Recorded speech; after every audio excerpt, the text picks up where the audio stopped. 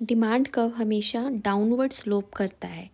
उसका रीज़न ये है क्योंकि ये बताता है प्राइस और क्वांटिटी डिमांडेड में रिलेशनशिप और प्राइस और क्वांटिटी डिमांडेड में नेगेटिव रिलेशन होता है। इसलिए ये